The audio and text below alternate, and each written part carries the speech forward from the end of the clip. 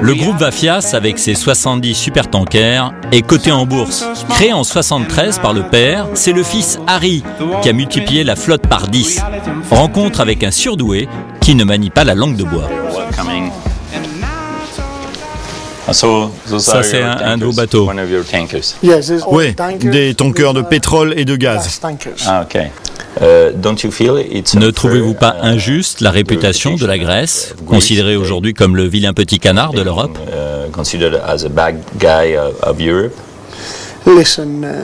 Écoutez, je trouve que la majorité des problèmes viennent du gouvernement précédent.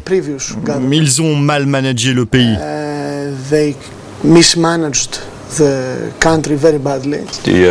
Vous avez 70 bateaux, combien sous pavillon grec? Under uh, Greek flag? Hmm, cinq. Et pourquoi 5 seulement? Deux raisons. La première, les équipes et les officiers grecs sont très peu nombreux. Donc euh, même si je voulais mettre tous mes bateaux sous pavillon grec, je ne pourrais pas. Ouais. Et pourquoi? Bah, parce que les gens ne veulent pas faire ce boulot. Prefer to be, uh, Ils préfèrent être fonctionnaires Oui, travail plus facile, parce qu'ils ne font rien. Tu travailles de 9 à 3 heures et tu rentres chez toi. Quand tu es sur un bateau, tu travailles plutôt 18 heures, t'es crevé, t'es loin de ta famille. Parfois c'est dangereux. Mais bien sûr, il faut penser aux avantages. Nos salaires sont 8 fois supérieurs aux salaires des fonctionnaires.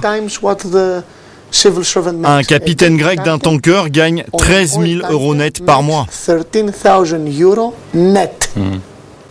So your, uh, Votre problème, c'est is donc le manque de main-d'œuvre qualifiée plutôt que la fiscalité. Mean, Euh, on ne paye pay pas taxes. d'impôts de toute façon. Cela peut paraître incroyable, mais en Grèce, les compagnies maritimes ne paient pas d'impôts. C'est même inscrit dans la Constitution. Et pour Harry Vafias, c'est tout à fait normal. Qui est-ce qui investit en Grèce Qui est-ce qui construit des immeubles et des hôtels Qui est-ce qui finance les œuvres caritatives Ce sont les propriétaires de bateaux. Si le gouvernement ne veut pas de nous, s'il veut qu'on s'en aille, qui va perdre Les armateurs ou le pays C'est une question très simple. Ceux qui financent les œuvres de charité, ce sont toutes les grosses entreprises comme Onassis ou Niarchos. Si vous enlevez ça, il ne reste que le tourisme. Si vous n'aidez pas les gens qui vous rapportent beaucoup d'argent dans ce pays, ils vont partir. Pourquoi rester s'ils sont taxés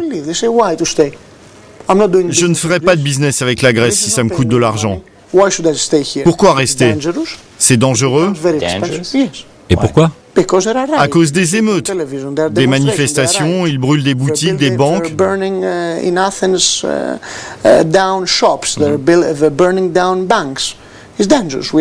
Nous sommes comme un pays du tiers-monde.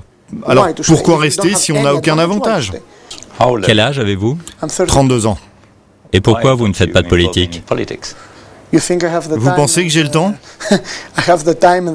Et aussi le pouvoir En Grèce, pour faire de la politique, il faut être euh, très solide. Et je n'ai pas la peau assez dure. Faire de la politique en Grèce en ce moment, c'est du suicide. Ouais. Suicide. C'est le pire moment pour le pays. Hmm. So for the future, Pour le futur, vous êtes optimiste? Si les efforts continuent comme ces derniers mois, je suis optimiste. Avant, j'étais très pessimiste avec le gouvernement précédent.